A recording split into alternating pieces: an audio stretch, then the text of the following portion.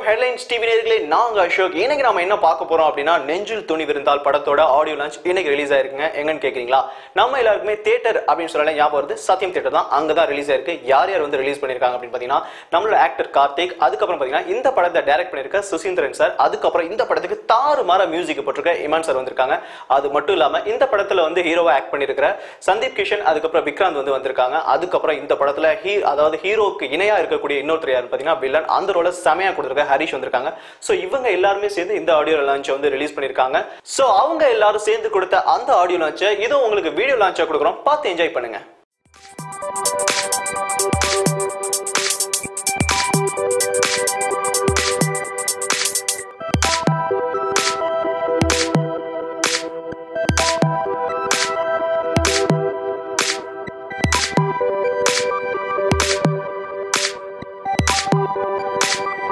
அவர் வந்து நாயகர்களையோ ஒரு பெரிய பொருட்செலவையோ நம்பி பண்ணாமல் நல்ல கதைக்களம் தேர்ந்தெடுத்து அந்த கதைக்கு யார் யாரெல்லாம் சரியாக இருப்பாங்கன்னு தேர்ந்தெடுத்து அந்த கதையை நம்பி அவர் படம் பண்ணுவார்.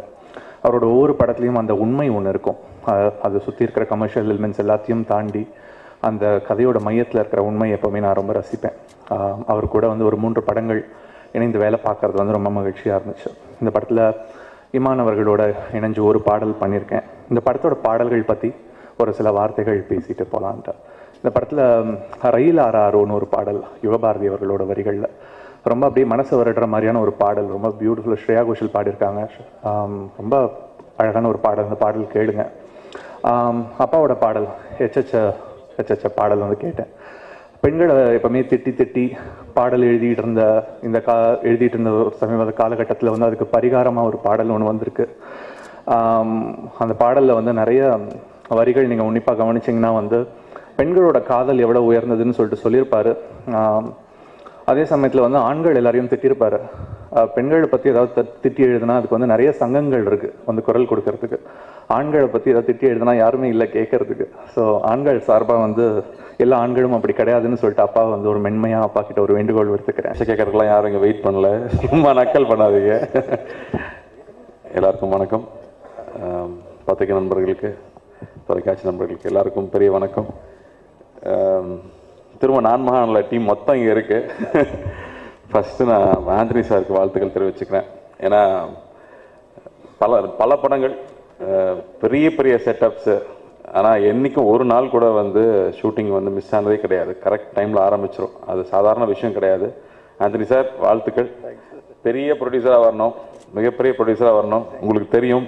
கரெக்டாக பிளான் பண்ணி கரெக்டான டைமில் ரிலீஸ் பண்ணி பெரிய ஹிட் ஆகணும்னு நான் வேண்டிக்கிறேன். ட்ரெய்லர் சூப்பராக இருக்குது சாங்ஸ் ரொம்ப நல்லா இருக்குது கரெக்டான டைரக்டரை சூஸ் பண்ணிட்டீங்க நீங்கள் டைரக்டர் உங்களை சூஸ் பண்ணாரா? நீங்கள் டைரக்டரை சூஸ் பண்ணீங்களான்னு தெரியல. பட் நல்லது நடந்திருக்கு.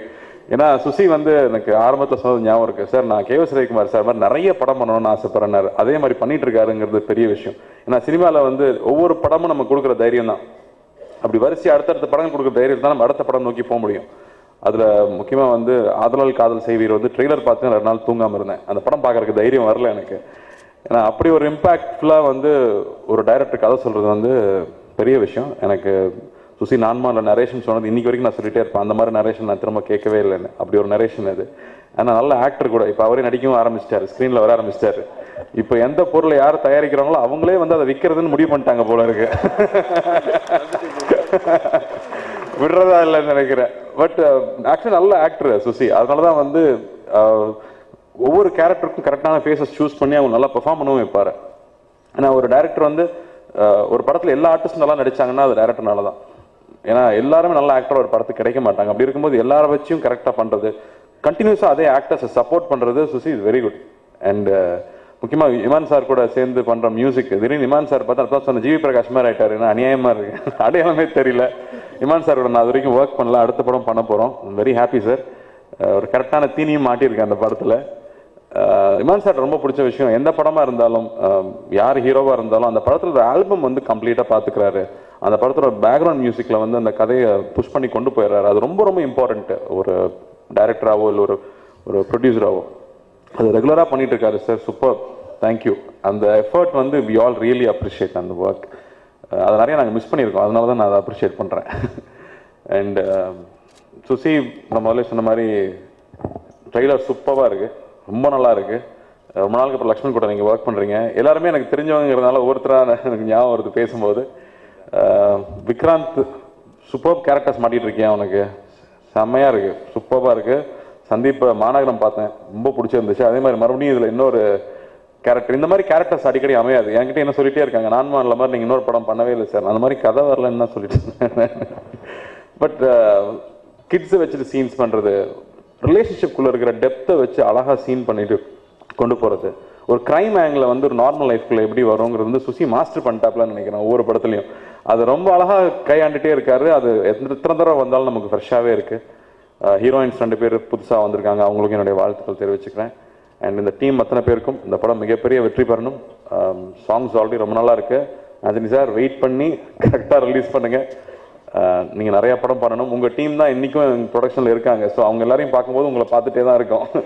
ஸோ வாழ்த்துக்கள் வாழ்த்துக்கள். படம் மிகப்பெரிய வெற்றி பெறணும் ஆண்டவனை வேண்டி. எல்லா நல்ல உள்ளவங்களுக்கும் நன்றி.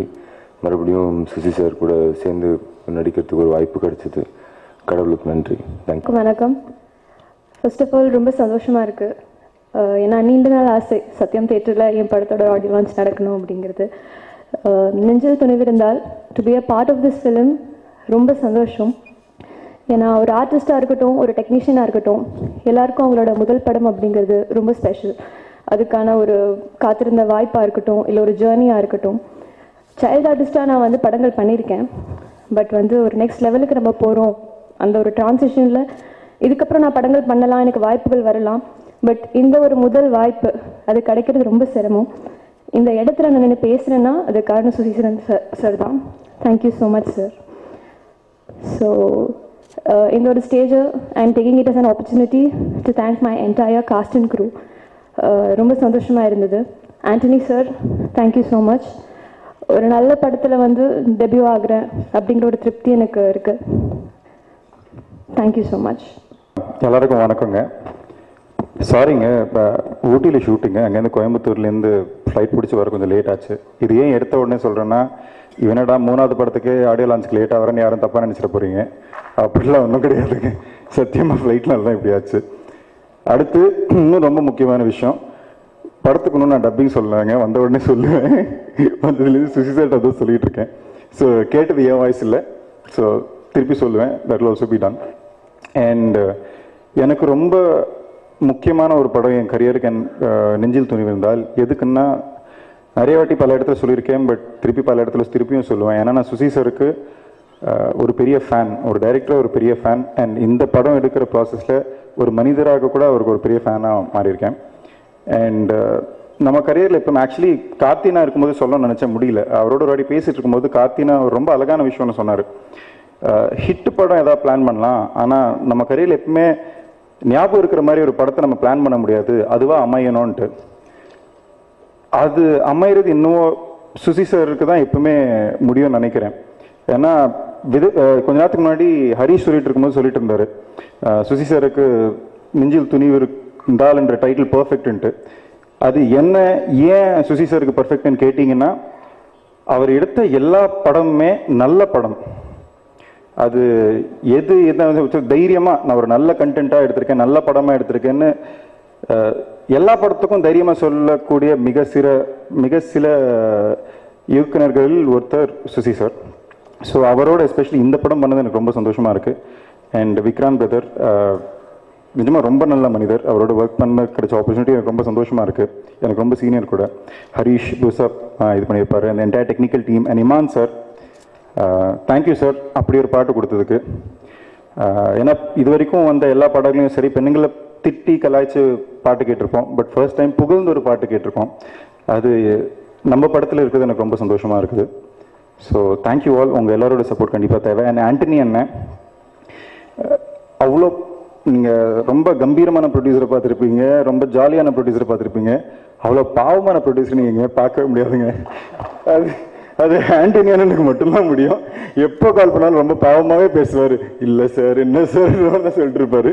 நம்ம எவ்வளோ டென்ஷனாக ஃபோன் பண்ணலாம் சரிண்ணே ஓகேண்ணே சரிண்ணே ஓகேண்ணே தான் சொல்ல முடியும். ஸோ நிஜமாகவே ஒரு வண்டர்ஃபுல் எஸ்பெஷலி எங்கள் டைரக்ஷன் டிபார்ட்மெண்ட் அண்ட் நான் கொஞ்ச நேரத்துக்கு முன்னாடி uh, எங்கள் ஃப்ரெண்ட் திரு பிரதர் சொன்ன ஒரே ஒரு விஷயத்தை மட்டும் லாஸ்ட்டாக திருப்பி சொல்லலாம்னு நினைக்கிறேன். Uh, இந்த லாஸ்ட் ஏழு மாதம் சுசி சார் ஜெர்னியில் நான் புரிஞ்சுக்கிட்ட ஒரு விஷயம். ரொம்ப அழகாக திருபதர் ஒரே ஒரு சென்டென்ஸ் சொன்ன விஷயம். சுஜி சுசி சார் ஜெயிச்சார்னா அவரோட அட்லீஸ்ட் ஒரு நூறு பேர் ஜெயிக்க வைப்பார். அண்ட் அப்படிப்பட்ட ஒரு டைரக்டரோட இந்த படம் பண்ணது ரொம்ப சந்தோஷம். அடுத்த படமும் திருப்பி பண்ணலாம்னு சொல்லியிருக்கீங்க சார் நீங்கள் ஃபோனில் சொன்னதை கொஞ்சம் நான் மைக்கில் சொல்லிடுறேன். தேங்க்யூ ஆளுங்க அண்ணா வந்து ஏவிஎம் நிறுவனம் ஸ்டுடியோ கிரீன் ஸ்டுடியோ கிரீன் நிறுவனம். இதிலெல்லாம் வந்து ப்ரொடக்ஷன் மேனேஜர் ஒர்க் பண்ணார். எங்கூட நான் மகான படத்தில் வந்து ஒர்க் பண்ணார். அதுக்கப்புறம் ஆதலால் காதர்சிவிலேருந்து இப்போ வரைக்கும் எங்கூட பயணிக்கிறார். இந்த படம் வந்து தமிழ் தெலுங்கு பைலிங்குவல் முடிவானதுக்கப்புறம் சரி நமக்கு ஆண்டனி என்ன தயாரிப்பாளராக முடிவு செஞ்சேன். தெலுங்கில் வந்து சக்ரி வந்திருக்காங்களா? ராஜேஷ் ரெண்டு பேருமே வந்து தெலுங்கு ப்ரொடியூசர்ஸாக இருப்பாங்க. ஆண்டனி என்ன வந்து பயந்தார். சார் வந்து எனக்கு- எனக்கு பொழப்பு நல்லா போயிட்டு இருக்கு திடீர்னு ப்ரொடியூசர் ஆக்கி விடுவீங்க மேனேஜர் வேலைக்கு யாருமே கூப்பிட மாட்டாங்க சார் அடுத்து அப்படின்னு பயந்தார். இன்னும் கவலைப்படாதீங்க. இன்னும் பத்து வருஷம் நான் படம் பண்ணுவேன். ஸோ அதனால் அந்த பிரச்சனை உங்களுக்கு இருக்காதுன்னு சொன்னேன். ஸோ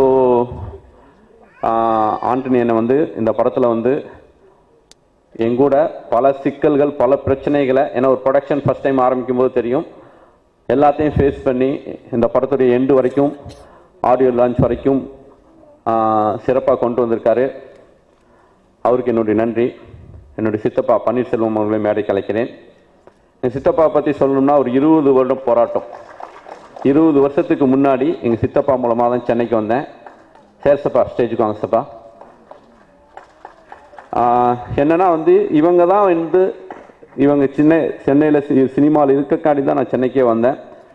இருபது வருஷத்துக்கு முன்னாடி தயாரிப்பாளரும் ஆகணும் அவங்களோட ஆசை. இந்த படத்தில் ஆண்டனினை கோச்சுக்காதீங்கன்னா இந்த படத்தில் வந்து சித்தப்பா பேரையும் சேர்த்துக்குங்க.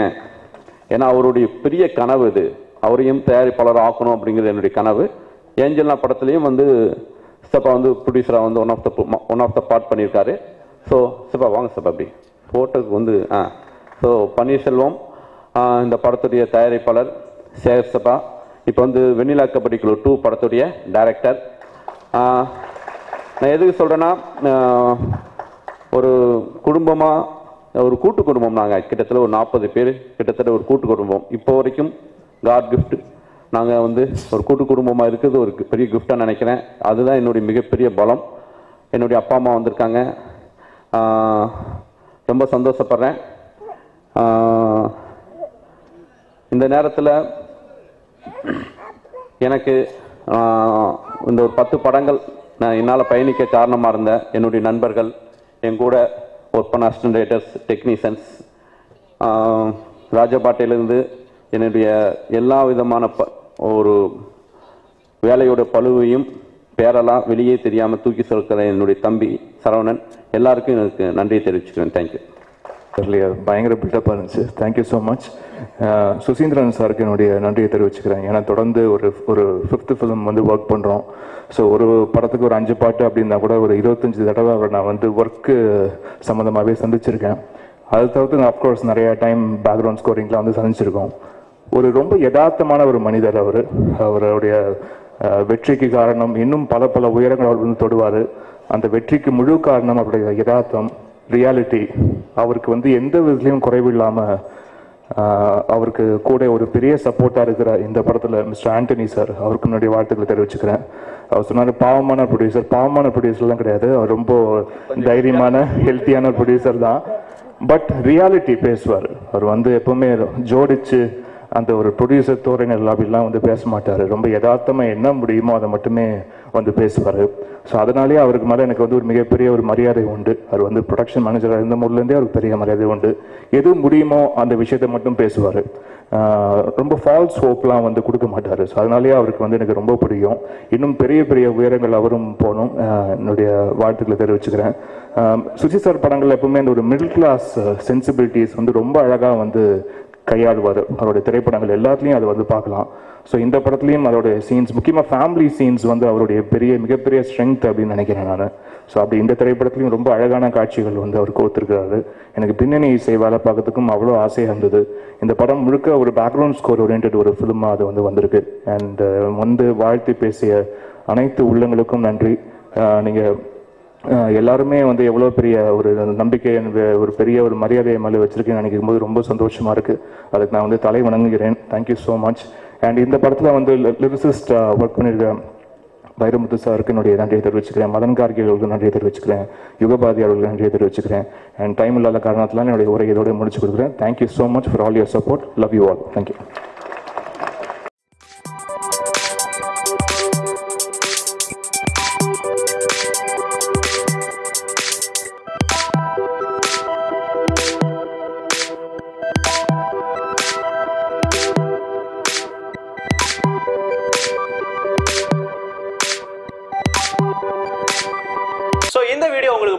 like பண்ணுங்க ஷேர் பண்ணுங்க கமெண்ட் பண்ணுங்க. மறக்காம சப்ஸ்கிரைப் பண்ணுங்க. அது வரைக்கும் உங்களிடமிருந்து விடைபெறுவது உங்கள் அசோக். தேங்க்யூ